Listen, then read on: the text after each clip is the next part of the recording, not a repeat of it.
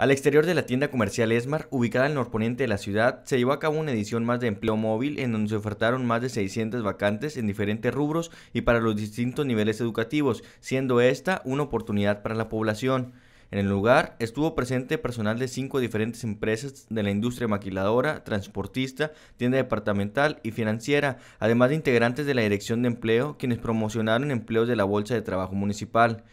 Cabe mencionar que alrededor del 80% de los sesionados en empleos de la bolsa logran conseguir un empleo, algunos al momento, mientras que otros lo hacen durante las dos semanas siguientes, ya que algunas empresas realizan algunas pruebas durante ese lapso. Se tuvo un registro de más de 50 personas de todas las edades que se acercaron a solicitar la información a los diferentes módulos y será hasta la tercera semana de agosto cuando se tengan los resultados obtenidos.